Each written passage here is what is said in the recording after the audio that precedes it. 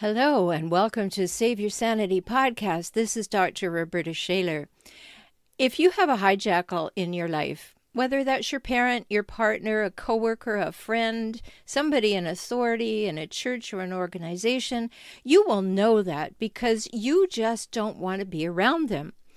And again, no matter what the system that you're finding this person in, you need to know certain things that they do, but you need to know what to do in response to them.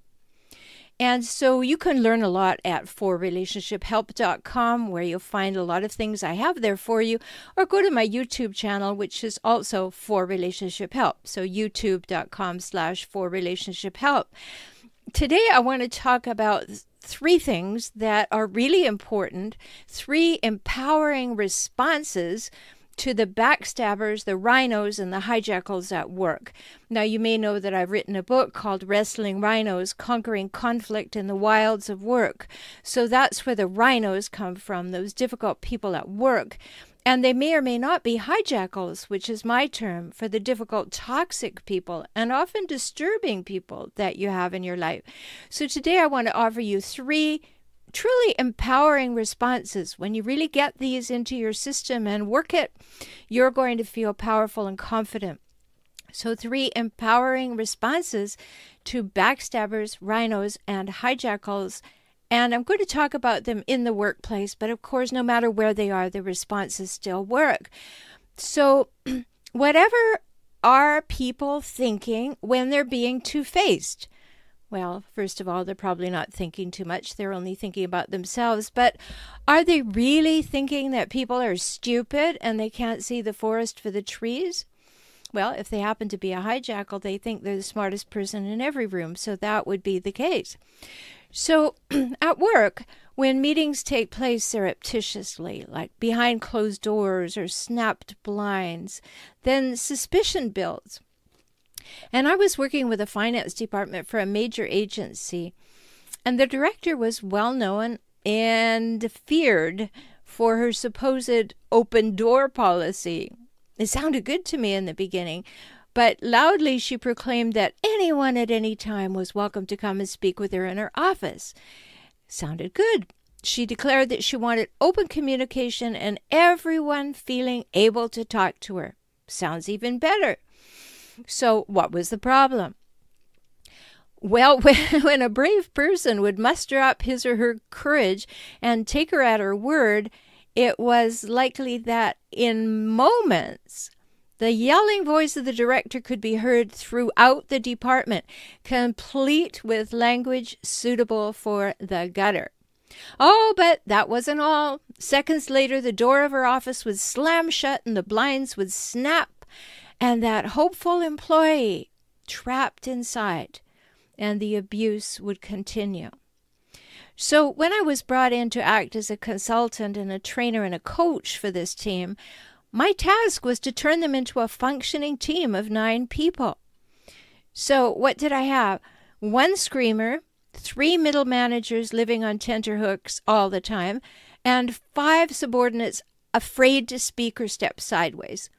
Whoa! You can believe that there were many days that these folks seriously considered sick leave. So, what do we know? People enjoy power. Some people abuse power, and they do it from fear.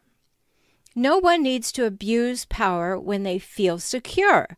When they know they're competent and capable, then they have nothing to prove. But then some people feel they have to stomp on or mess with folks in order to get a promotion.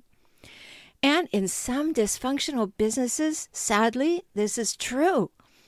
I was recently working with an executive coaching client who had a boss who wanted harmony at any price. He was petrified of managing conflict in his office. My client was bringing in great clients with their money, but her subordinates didn't like her at all. So the boss, in his wisdom, decided to release my client rather than deal with the underhanded and in her face behavior of the subordinate, all in the name of peace. So strange things happen in the business world sometimes. Now, of course, the opposite also could happen. The person who brings in the most money could be allowed to trample over the subordinates because the bottom line is more important than respect. Now, that's sad too. You know, not long ago, a reader wrote to me about a director who played power games. And this woman called meetings at inconvenient times and then invited her favorites along. And this setting of meetings at inconvenient times required folks to shift their priorities, maybe upset their family plans, and even give up weekends just to satisfy this woman's whims. But she took the abuse of power to a whole new level. Once everyone had changed their plans to accommodate her, what did she do? She changed her mind. She changed the meeting time. And then everyone was expected to shift again. And all I was thinking was, what an incredibly insecure woman. So, backstabbing, gossiping, greed, power games, these are all a sign of an unhealthy organization. And worse, those who engage in these things are wasting vital energy and making themselves miserable. And you might think that eliminating things will change the promotions and that these things will eliminate you from the promotion ranks. And you might think that I don't understand how the game is played around here. Believe me, I do. My question to you is Are you willing to give up your integrity and your peace of mind on a daily basis in order to play into someone else's misguided power games? Are you? What is the real prize there? Yes, I know you need the paycheck. That's not what I'm talking about. We all do need to be able to earn our keep. But how about this? How about you behave in integrity with your values and refuse to play? Wouldn't that feel better? You're wondering how to do it. I'm going to tell you. But wouldn't you enjoy each day more? And then eventually people would get the message about you.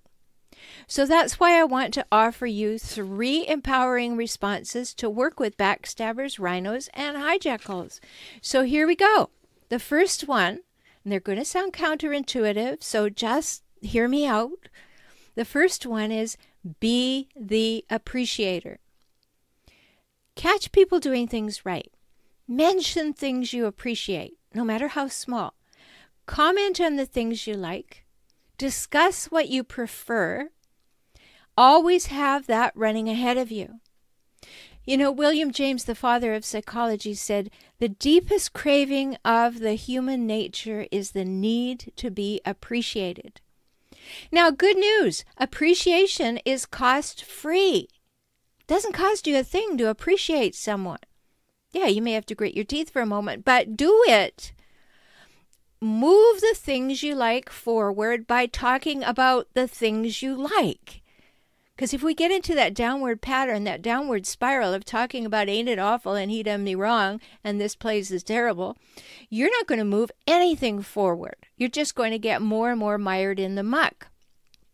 So move the things you like forward by talking about them even in your primary relationship, catch each other doing things right and comment on it. You know, I had a music teacher once. I was trained to be a, a concert pianist, and she was really tough. And she would hit my hands and she would yell and scream and things. But she taught me one really important lesson. I happened to have a gift for sight reading, which meant that I could have a piece of music put in front of me, and I still can, of course, and I can just read it and play it. So there were contests for that kind of thing. And of course, I usually won.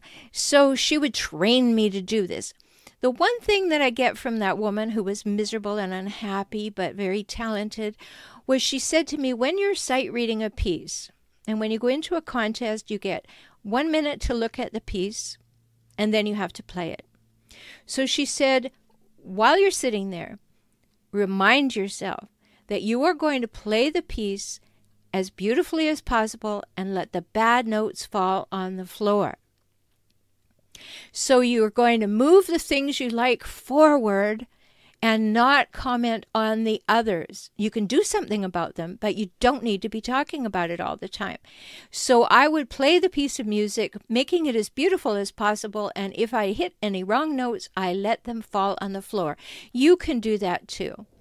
Because appreciation is cost free, really, it is and you move those things forward, those positive things, the things you like, the things you want to see more of, you move them forward by talking about them.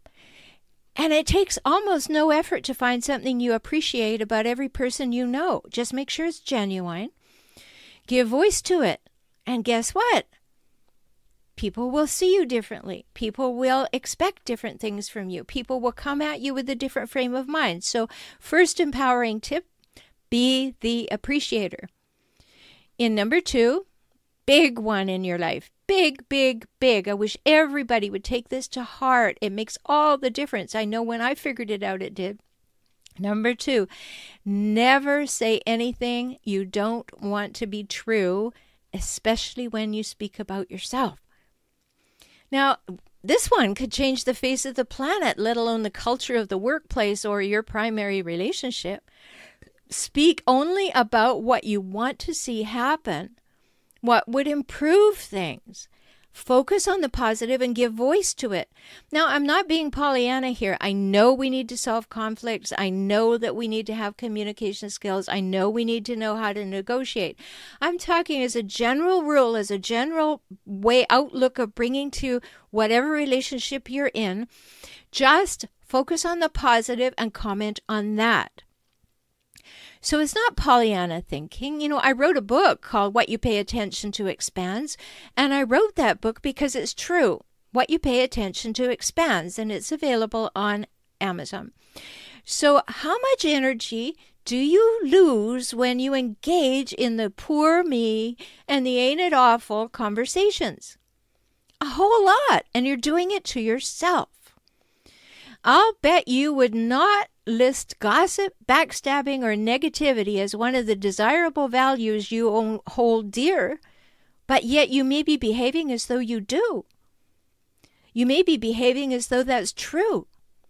So remember, your behavior demonstrates your belief, and there's no way around that one. So that's number two. Never say anything you don't want to be true, especially when you talk to yourself in your head. And the number three empowering strategy is be proactive. The first rule of change is be the change you want to see in the world. That's what Gandhi said, and I believe it's paramount.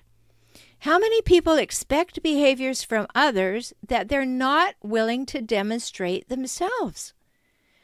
Talk about what you want to create. Keep the buzz going about what's possible. Influence the culture of your workplace just by being you with your very presence. Be strong. Be the voice for fair play and reason. And then would that person who calls those meetings that inconvenience everybody be happy if it happened to her? No, she'd be the first person to complain and yell and scream unfair. And would the person who runs to you with the latest gossip be thrilled to be the topic of conversation tomorrow morning? No, he'd be outraged and declare it was unfair and everybody was being mean. And would that backstabber cry when stabbed? Louder than anyone. So, what can we do to have these three empowering responses to these backstabbers, rhinos, and hijackals? Just stop the nonsense. Do your part. Stop the nonsense. Don't play. Refuse to play. It will soon end the game, at least the game around you. And that's what's important. No, I'm not talking about being a wuss or a doormat or a snob. That's not being in integrity with what you value. It's not in integrity with being the person you most want to be. I'm suggesting you use your energy and your time and resources in ways that make you feel good every day. After all, you're creating your quality of life. Yeah, there are risks. You may be happier.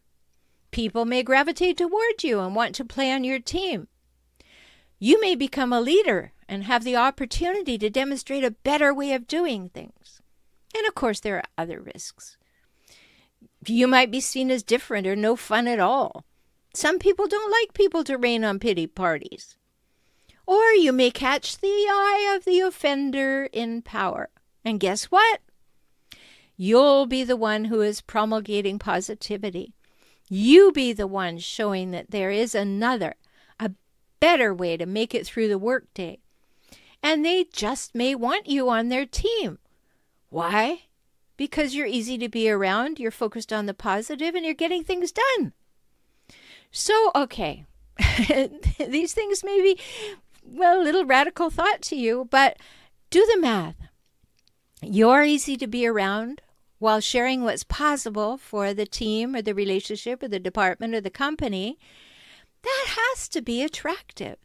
So hang in. Backstabbers lose every day. People see them for who they are.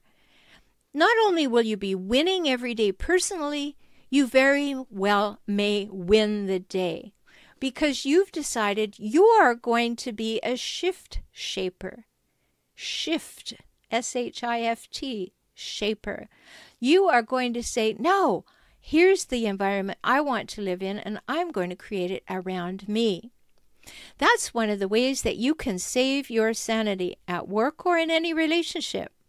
And yes, sometimes you have to walk away. No question. But I wanted to give you some positive things that you could do in the face of these difficult people, no matter where they are in your life. And I hope that's helpful to you. I look forward to talking with you soon. And thanks for listening to Save Your Sanity podcast. Visit forrelationshiphelp.com and let's see what we can improve together. Talk soon.